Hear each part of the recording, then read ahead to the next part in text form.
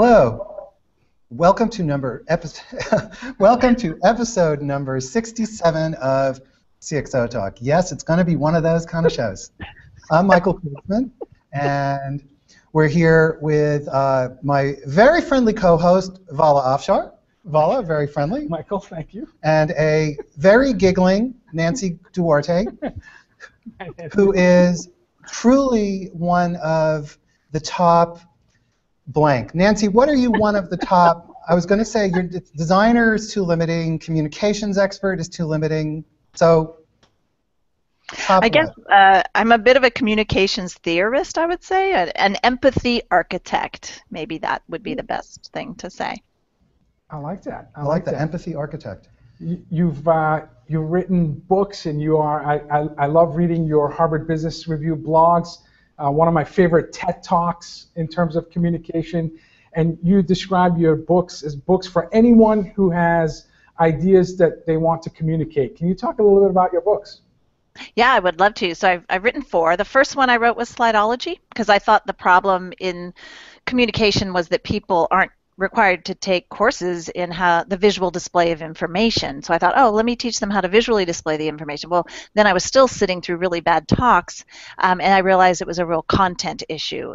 And I wanted to be able to write a piece about how to resonate with the audience because I got an F in that in college. I got an F in my speech communication class in connecting no with the audience. Yeah. So it was kind of a personal thing for me to write a piece about it.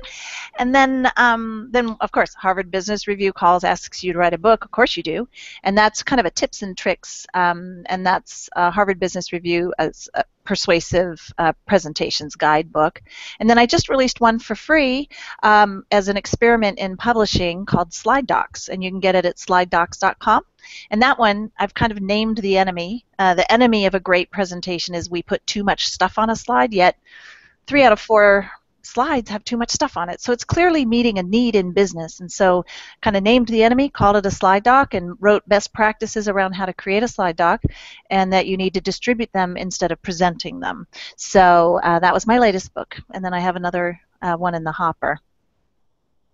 You, you know, I've been reading and studying your work for a long time. And why is it that we put too much stuff on slides? Because people use it as a teleprompter. I mean, it would be really awful to see, uh, you know, Obama turn his teleprompter screens around and let us read along. We'd be all like, come on, hurry up. I already know what you're going to say. You know, where you, you just don't do that.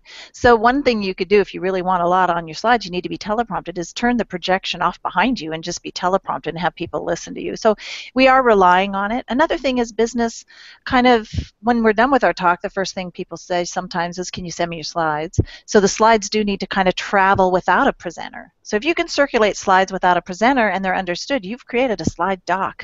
And, and that's great. You can create slide docs. But the minute you're asked to present the material in your slide doc, you need to back up, do a completely different creative process, and uh, create actually a cinematic story, which is a completely different process than pounding information into a slide doc. Wow. In your TED talk, you talked about structure to stories, mm-hmm. and you talked about a three-act structure with a likable hero and roadblocks and how you emerge and transform. Then you mentioned a five pyramid structure to stories. Mm-hmm. But then you talked about how you were able to identify shapes in great stories and great story storytellers, where you study Steve Jobs and, and Martin yeah. Luther King. Can you talk about how you discovered the shape of stories in, in terms of these great communicators?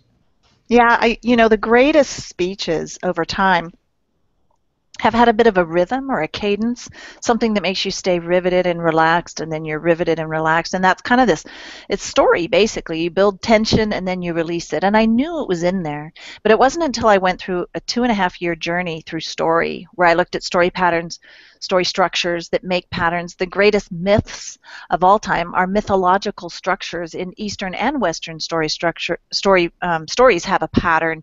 I thought there's got to be a pattern that the greatest communicators used. So what they did is they started. They knew who they needed to communicate. They wrote, rewrote, crafted, crafted, crafted, and then they're like, okay, this presentation or this speech feels done. And and and in that process, they actually mapped it into a pattern, but they never knew they did.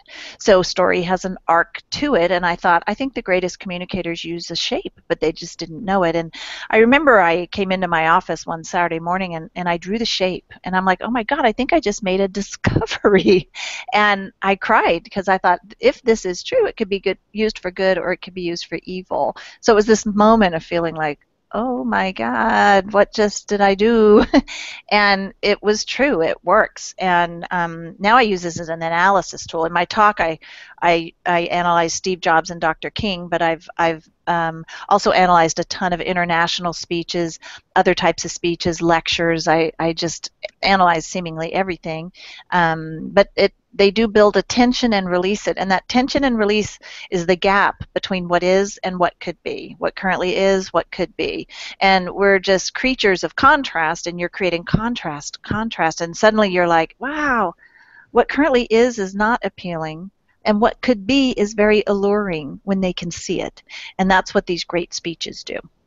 So, so in effect, are you saying that these great speeches make the ideas real to us uh, by creating these arcs and using the patterns and so forth. Is that accurate? Yeah, it, it makes it clear uh, that we want to go there. Um, I, I, think when we're imagining a future, like you're presenting an idea and it doesn't exist yet, most speeches are about a more utopian future.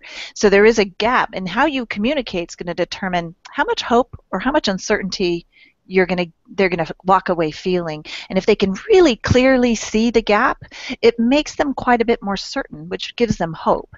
If they can't see the gap they're uncertain which will bring them fear. So you want to make sure that the contrast is is clear enough that they're like i'm certain that this is the future we need to head toward so is PowerPoint good or, or evil? well, Edward Tufte says it's evil. Yet he does use it when he does his uh, conferences. So there was all this write up about PowerPoint being evil, and it's hard. That's like calling a hammer evil. Now you can use a hammer to build a house, or you can use a hammer to hit someone in the head with it. And I think a lot of people use PowerPoint to hit people in the head. And I, I, I feel it's a communication issue because um, I actually think PowerPoint or Keynote or whatever the visual tool is you use is so important because if people can see what you're saying, they can do what you're asking them to do. They, they can see it. So visualizing and, and also using it to um, evoke emotion or to make an analytical point. It's just I think it's an important tool. So it's it's not evil. I think the people who use it are uninformed about the visual display of information and its power. Because people come to hear you speak and and it's hard to point to a movement that didn't start with an impassioned speech. So the spoken word is this ability we can connect. I mean, we just we had a hysterical time before the show started, and that was all because of the spoken word. But something happens when we put slides between me and you, and it's like, you know, we make this barrier, and and that's not good because people really do make decisions based on human connection. So it's really how it's used um, that makes it good or that makes it evil.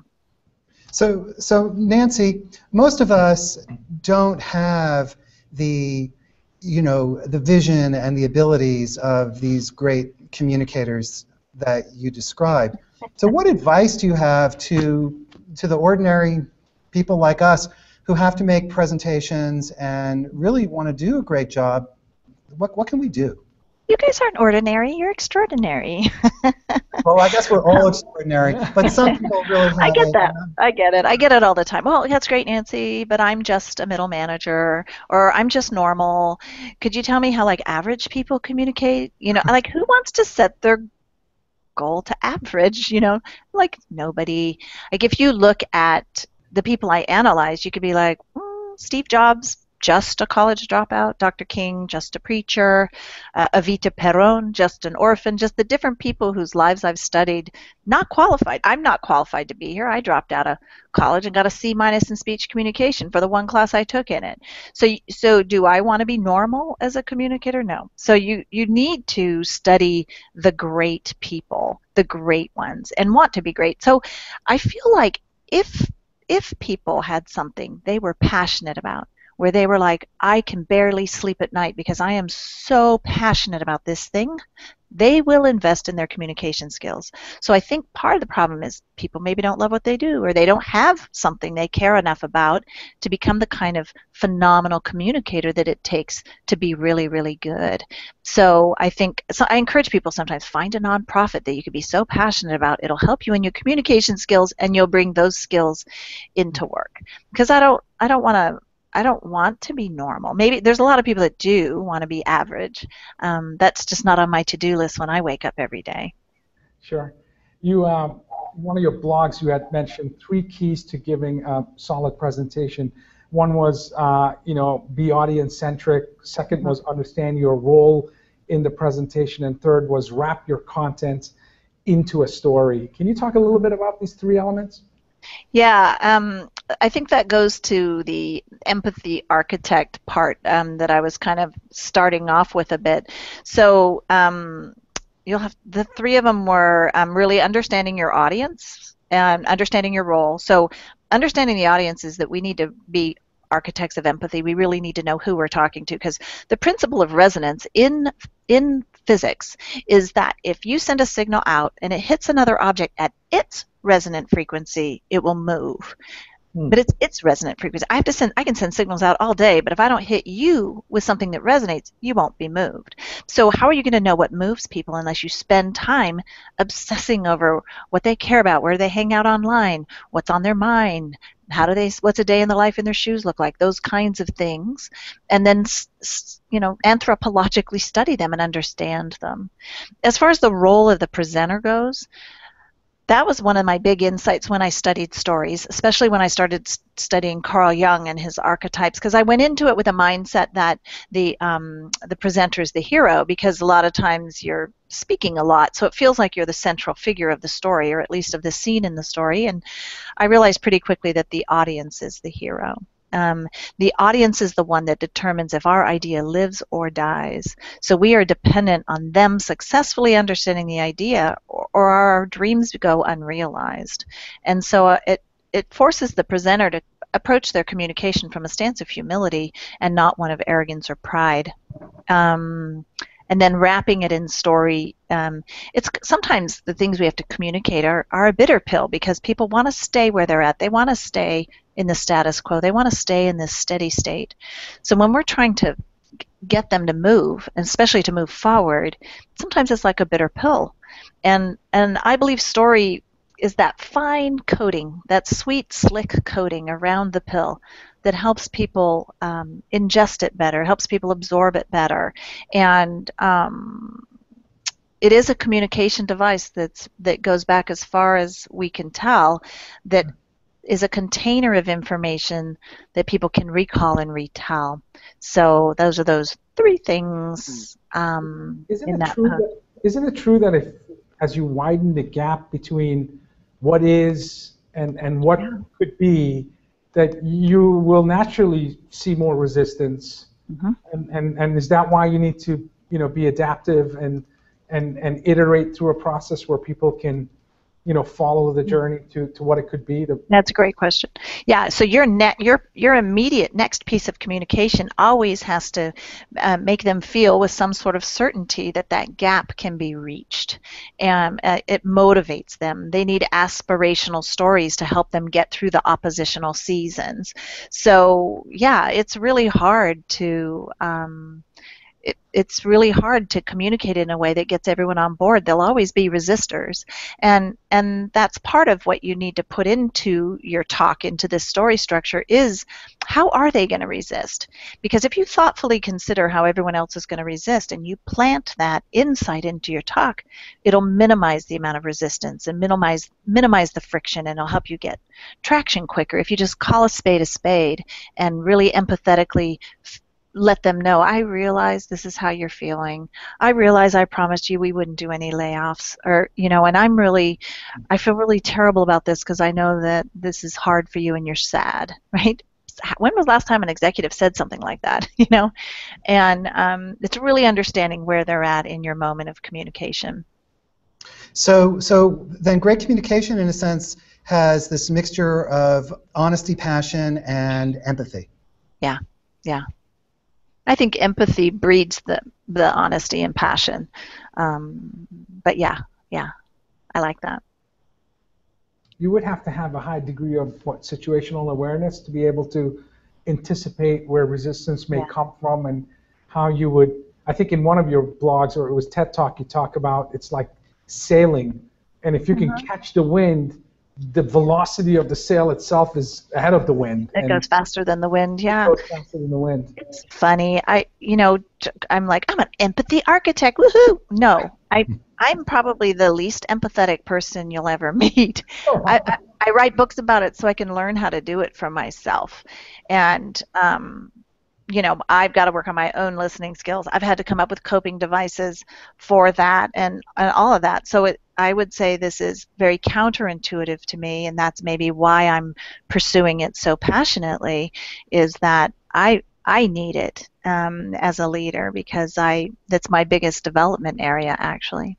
So I had to I had to actually come up with a system that my brain could operate within that that could help me um, as my coping mechanism to be more empathetic.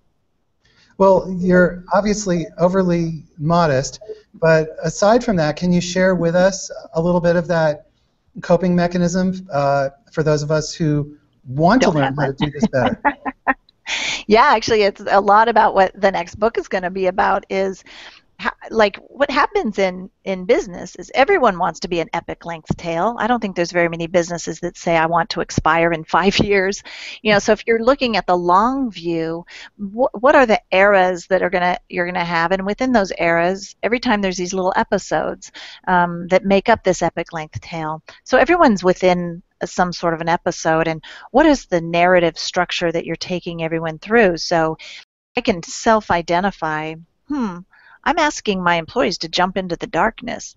I need to tell a story about sacrifice, other times where we took risks and made it through. Oh wow, we're in a season of opposition. I could so you if you listen to kinds of stories, the kinds of symbols, are your employees not showing up to work till 10 a.m.? That's a form of protest. How do you listen to that and mm. say, I'm doing something wrong because they don't want to be here? And how do I address that and communicate that in a way that's empathetic toward them. So um, it's going to be it's it's a very interesting body of work. It's not it's really more of a leadership communication and how to manage the narrative because if you don't c- control the narrative of your own organization someone else will so it's really about how do you how do you become a narrator um, in your own organization and and create and curate the stories that are there already so it's steeped in empathy in that the stories and symbols and ceremonies are already in your culture. You need to pluck them out and re- either redeem them or dismantle them. Mm-hmm. And um, I don't know. It, it's an interesting piece of work, and and the structure's still formulating in my head, as you could tell. But um, I, I can see things more clearly now that I have this wayfinding device.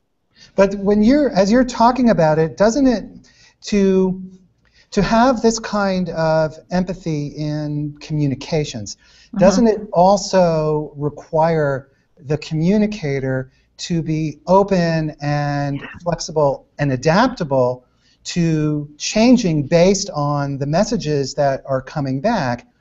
Yeah. And if that's and if that's the case, then isn't a characteristic of great communicators being able to adapt and and change? Yeah, I, I think that's a leader and communicator needs to be able to adapt. Um, the, and the great ones can. And I think the ones that have a more epic length tale have been lead, led by people who are adaptive. And part of being adaptive is being able to read the signs. And a lot of those signs come to us through stories or symbols or ceremonies, different things that where the customers and or the employees are kind of crying out in a sense. You know, you're like, why does everyone keep bringing up this weird thing? Why is everyone obsessing over that? Well, that became a symbol for something that has a story or a sentiment that underlies it. So um, being able to hear and see uh, the kind of the cries of the people, or the or the cries of the people sounds so dramatic, but the um, the needs of the people on the customer and the employee side are what make peop- make companies endure. Sure. So I'm always nervous before I have to give a presentation or, or, or, or tell a story, and um, I, I haven't really found a way to overcome that anxiety. And I read advice that you shared about calming nerves, and I believe it's from Dr. Nick Morgan. And, mm-hmm. and he said what you need to do right before you go on stage is to think about someone that you love dearly, yeah. and that the feeling of affection calms your body and, and, and stops the stage fright.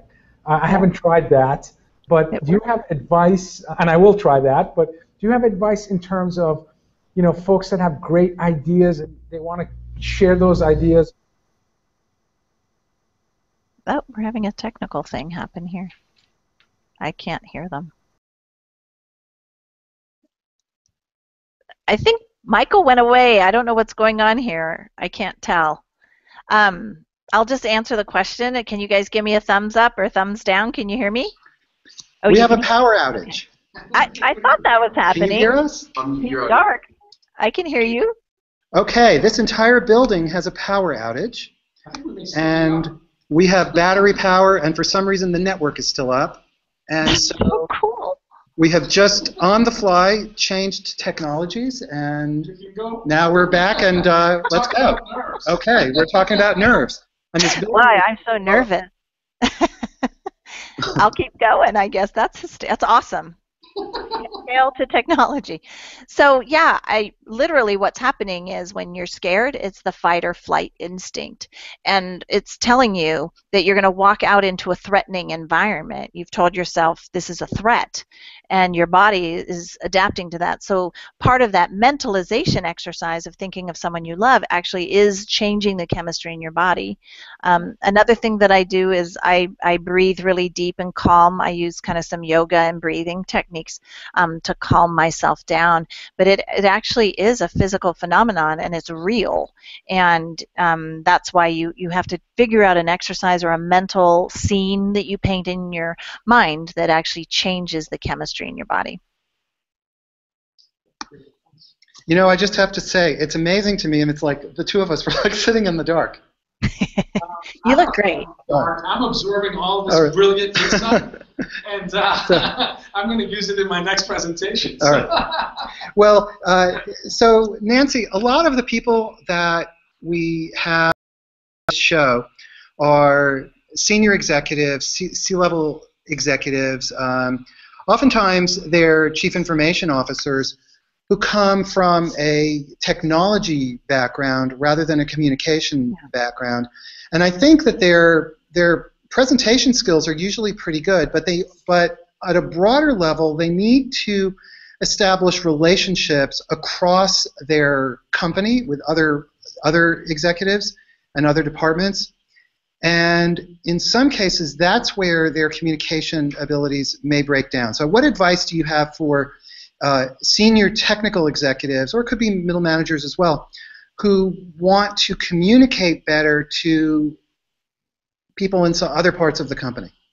Yeah, I think a lot of the kind of engineering, financial analysts, and um, people in IT, they are more analytical in nature. So being dramatic and a storyteller sometimes feels like, wow, that's not um, natural. That you could actually lose your credibility if you try to come across in a way that's not genuine. So I really feel like that you need to stay genuine and stay your true self. That said, um, to be appealing to a broader audience outside of your own peer group, sometimes IT people they can use jargon, they can use language that, if they're talking to their own peer group, makes sense, but to a broader audience will alienate you. So you have to really look and make an inventory around what's the language you're using that might not have broad appeal. How do I connect deeply to people who don't understand this technology? And for some, it feels like dumbing it down, but if you're talking broadly, that's kind of what has to happen because we're not specifically in the niche that you're talking about. So, adding a thinner layer of emotional appeal is still important, but it doesn't have to be completely this massive amount of emotional appeal because then you would come across as uh, disingenuous. Another uh, TED Talk speaker like yourself, um, Simon Sinek, uh, talked about, you know, all of us know what we do, some of us know how we do it, but only a few of us communicate why we do right. what we do. Um, advice to chief marketing officers and, and brand advocates in terms of how we can uh, empathetically and authentically tell our story and, and help grow, uh, you know, our brand relevance. Yeah, it's interesting. I, I grapple with whose job is it to take story systemic? You know, you look at the brands that tell stories well, they are the greatest brands. And I feel like it is in many ways the CMO's job to train the organization or to create the need and the desire for everyone in an organization to become storytellers and to understand the power of story. And I think that that would wind up manifesting like it does at Nike, say, in, in the advertising, how employees talk about it. You could you could get go on the campus for just a tour of Nike, and whoever's giving you the tour is a storyteller. So to take it systemic, I think, is somewhat in the job and role of the marketing department. Um, and that, but I also feel just in general, all the leaders need to understand, obviously, empathy, um, and and uh, it's going to be interesting because there's been so many seeds planted around story in leadership. There's a it's, a, it's on HR core competency list storytelling, but nobody really knows what that means. They know they need it, but they don't know how to implement it.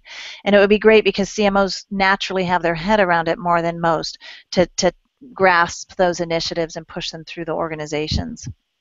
Uh, Shel Israel, who's a Forbes contributor uh-huh. and an author of a new book about contextual intelligence, just tweeted how about letting your customers control the narrative um, as well as your brand? And certainly in this social knowledge sharing world that we live, um, probably not a good, good idea to think you can control a brand.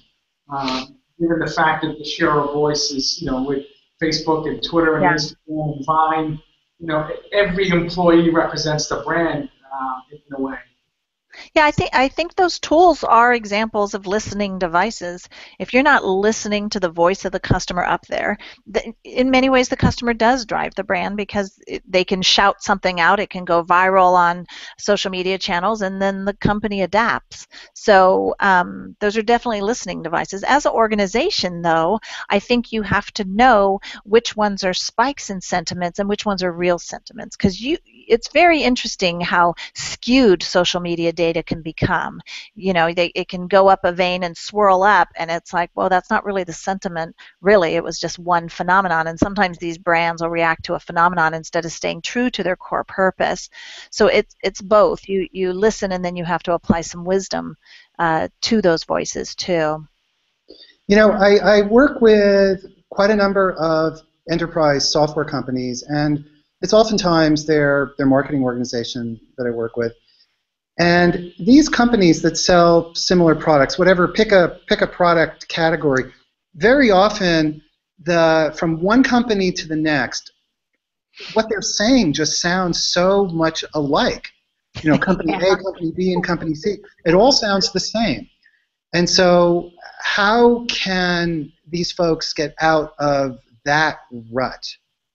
It's funny i we because you know part of what we studied for the next book was we studied movements because movements are moving people en masse and that's a lot about what brands do. We studied expedition because that's about moving people en masse in a dangerous situation and so we did this parallel structure of all the people that are going into the cloud or they're claiming to be the cloud company and we put them all in parallel structure and we were like it all sounds just the same. We were hoping one would stand out, and it all sounded the same. And um, I think being different is so important. And um, when everyone's rushing like a little gold rush, like what the cloud is, I think they're just they're staking a claim. They're just trying to drive their flag in the ground and stake a claim, and and the, it's going to be a real struggle for one of them to win because it's so cloudy. So it's very important. When my kind of moment of differentiation came out when Good to Great came out, Jim Collins had his uh, hedgehog concept, which said if there's one thing you can do, be best in the world at, and be passionate about, do just that one thing. So it's the dot com crash. The economy is just woo coming down, just like barreling. And I decide to shutter our firm from three other services that we did outside of presentations. We decided we would do just presentations. Total counterintuitive move. But that sacrifice that I had to make of these other services is what made us stand out. So it, it's definitely a principle that every organization needs to live by. So, uh, oh, the power. Let there be light. partially, it's partially come back. It was kind of nice to be better lit than you guys, since you guys were better lit for the first half of the and, and it's better for you to be. You're in the light, and we're in the darkness, as it should be. Our audience absolutely appreciates that you and I, Michael, are in the dark. Um, Well, we usually are. so- Anyways. So, okay, so some personal advice that I'm seeking here. Last year, I attended a conference called Business Innovation Factory, uh, led by Saul Kaplan, and he invited 30 some odd storytellers, and they gave 15 minute TED Talk like uh, presentations. I mean, unbelievably inspiring. Wow. Goosebumps, chills on my back. It was the two, two, the, the two most wonderful conference days that, that I've had in, in recent memory. Somehow or another, I was invited to present this year at uh, Business Innovation Factory 10. It's a 10th year anniversary, and I have 15 minutes. I have no idea what story I'm going to share and how I'm going to approach this this challenge. Any any advice that you can that you could give me? Because every day I'm thinking about it, and as it, as it gets closer, and it's in September, um, I'm getting more and more nervous. yeah, it, it's interesting. I don't know if they're business stories or personal stories, but a, a, a personal story told with conviction is better than telling any third person story you could tell. And the weird thing about storytelling is it does require that you reveal that you're flawed. And I think that's why people they know they need story, but nobody wants to be like, I'm I've made a mistake or I entered into this perilous thing and it was a struggle. But it it's the human transformation. It's observing transformation where they're rooting for you to do it well. That's what we love about story. So you have to have to display how you were changed or how someone else was changed through this story or how a technology was changed. It is about change. So you have to display that in some way that's amazing. And and it's funny because um, we talk about these storytelling moments in the next book, and um, Durkheim calls it collective effervescence. He was an anthropologist who talked about this moment. It's almost this spiritual moment where you're like, oh my God, I'm so connected to the speaker, and I'm and I feel this sense of the people around me because we shared this moment that'll never happen again ever, and collectively we all experienced some this emotional ride and it, and it is something that's very special. So um, that it's really about your transformation. So you need to make that super super clear. So, so what's the role of vulnerability in communication and storytelling then? I think people that are more self-aware are stronger communicators. Like I will follow a leader that's failed and talks about it before I'll follow a leader that pretends they've never failed. And I think that um, that's part of the transparency, the vulnerability, the part that makes us real. Yet um, I know, especially for women who are trying to make their way forward, it's hard to it's hard to say, "Oh my God, I'm so flawed." you know, in an environment where it's competitive, people would stab you in the back for being flawed. All those kinds of things. So um, there's a handful of communicators that are doing it well, um, but it's hard. It's a pra- it's a practice and a discipline um, with some you know mystique and artistry in it. Um, so. Um, it, it's work. It's hard work, and some people want to put the work in, and some don't. Um, just because people like Mr. Jobs came across as an effortless communicator, it was six weeks of hard work, full time, to get ready for these presentations and have everything seamlessly work and the right demos in place, and that's a lot. But that was a strategy. That was their strategy was to market the products by having everyone wait with bated an- anticipation for this big keynote event. Um, so it all it, it, I mean, it's all relative. Who are some of uh, today's great storytellers that, that you admire and, and, and that you learn from?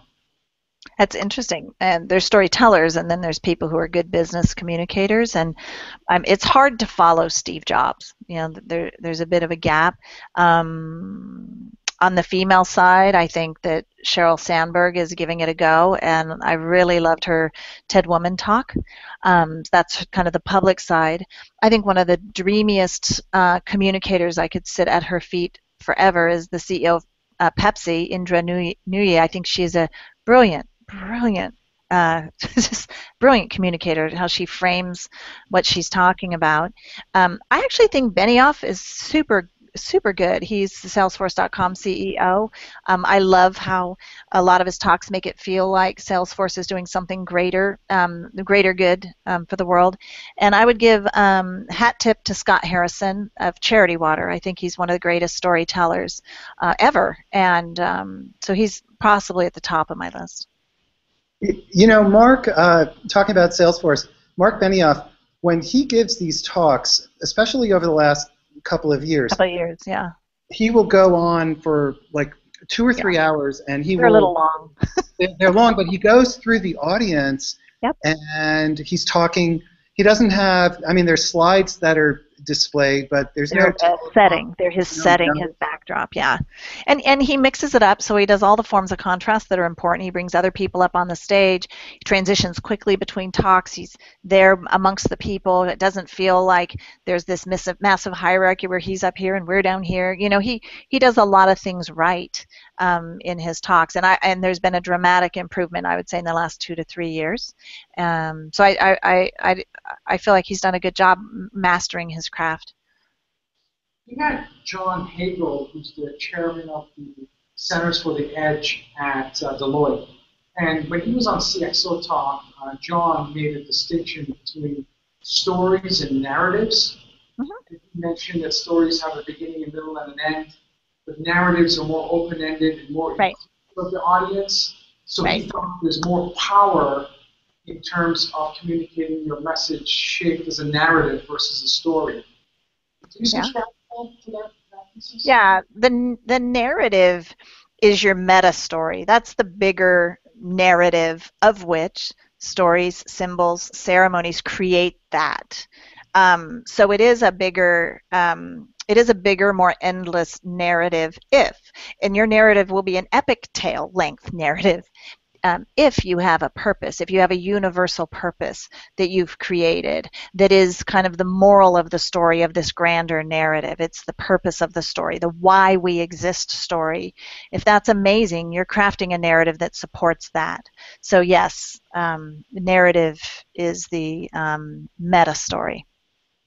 And, and what about this notion of connecting our personal story or the story that we're telling about our topic or our company to broader social goods, social movements, and so forth, exactly uh, like Marc Benioff does. How do you do that in such a way that the audience believes that it's credible and real?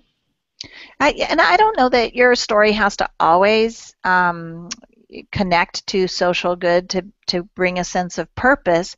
But um, that said, if you have personal stories that do that, there's I stories, like I had this experience. There's we stories, we went through this thing. There's they stories, hey, they did this. So you can find stories, a I, a we, or a they story that that t- that supports the point you're trying to make. So not everyone's point is going to be let's save lives in Africa, though a lot of people's point should be that.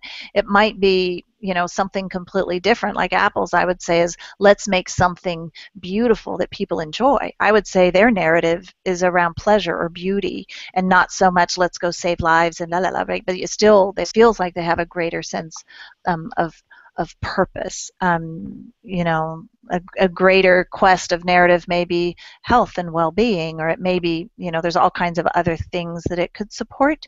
Um, but like I said, I think a personal story told with conviction is so powerful. And hopefully, we're all doing something with our lives that supports a greater narrative because I think that's what brings meaning in our lives. You know, we're walking along in our lives, we go through this thing, and, and we're like, oh, as, as a coping mechanism, it's like, okay, I can cope with this hardship because I live on behalf of a greater narrative. And I think everyone's looking for that, that grand narrative that we can um, have our own stories support. Now, um, let's say you're preparing for a keynote, um, and can you talk to us about your ritual in terms of any verse for the keynote? Uh, do you have sticky notes? Are you typing on slides? And, yeah. how, how do you prepare yourself to, to, to, to, to deliver a Great question, Vala. That's a great question. Great question. I I spend time like it's funny. I I spend time thinking about the audience. I'll go up and research previous events I spoke at. I'll go look at the Twitter feed, see what the feedback was. I mean, I spend a lot of time thinking about it, and then how do I map um, to what they may want to hear? So I I do have a little sticky note ritual. I have I do it in slide sorter mode, so my sticky notes are a lot of times slide sorter mode, so I could look at the whole picture of what I'm trying um, trying to communicate. Before I talk, I the night before I rehearse. The day before, a lot of people go in a green room, and if, if where I speak has a green room, first thing I say is, is it for chatting or for rehearsing? And if there's people in there like, oh my God, it's so good to see you, I, I can't do those kinds of activities before I talk. I have to I go into this mindset zone where I have to actually be alone and and envision the talk and envision I do a lot of kind of visualization exercises to make sure that I that I nail it. Because I'm, mm-hmm. I'm like the presentation lady, so like the pressure on me is so much more than the pressure on other people. I can't screw up. You know? So you stay. So you stay. You try to focus. That's Ab- your absolutely. I have to clear out all the noise, focus, focus, focus. and then the minute it's over, I'm like friendly Nancy again. But before I'm, uh, you know, I'm not mean or anything, but I'm like, is there some place I can go where I can be alone because all this chatter is distracting me from the purpose of me being there. Awesome. And you, you revealed personal information. It was emotional. It was inspiring. How many times did you give the TED Talk before you officially gave the TED Talk? So I could. It was breaking up a little bit. How many? How many times? What about my TED talk? How many, how many times? While I was asking, how many times did you give your TED talk Oh. before you, as practice? How did you prepare for your TED talk? Yeah, that was really high stakes. So I believe the amount of time you spend on something is proportionate to what's at stake. So it's like that's a big that's a big thing. Um, so it's had a million views. I don't know what TED did, but it had a million views. Then they updated the website. Now it has like a half million views. But there's about 300 views, 300,000 views on um, YouTube also. So high stakes. So I knew if I did a really good job, it could go viral, which it did, and built the business. So for me, CEO, super busy. I spent possibly around 200 hours on that talk. 38 of it was in rehearsing. So I filmed myself. I had a coach be like, hey, you're eight minutes over. I suggest you trim here and here, or eight seconds over, or whatever. And um, and I had to finish in 18. I mean, you can't, I'm the presentation lady. I had to finish in 18 minutes. So I was like, oh my God. I was like, I'm done. Thank you very much. I look up and it was six seconds left on the clock. I'll never forget. I was like, oh my God, I did it. But it was about 30 hours of just genuine rehearsal. And the rehearsal process is interesting because at first you, you're kind of looking up remembering what you want to say. You look like you're trying to memorize it. You look like you're trying too hard, you know, and then you hit this threshold where you bust through and then it comes across more conversational, more genuine, less rehearsed and contrived. And breaking through to that point um, is the bulk of the work. Isn't it? We have a question from Twitter from Christopher Kelly. And uh, I don't know the motivation behind the question, but he asks, are, are you an athlete by any chance?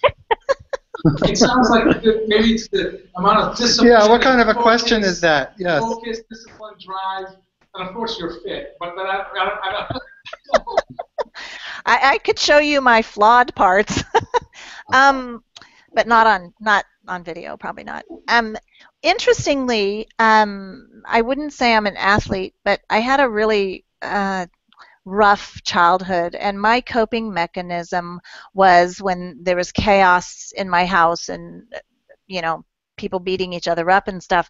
I would run. I would I I would run, not like flee. I would literally go to the little playground down the street and I would just do laps and laps until I collapsed. And then I would come back willing, ready to deal. And I think when you go through tough times and stories resolve this way, you're either a victim or a victor. That's a positive resolution plot or a negative resolution plot.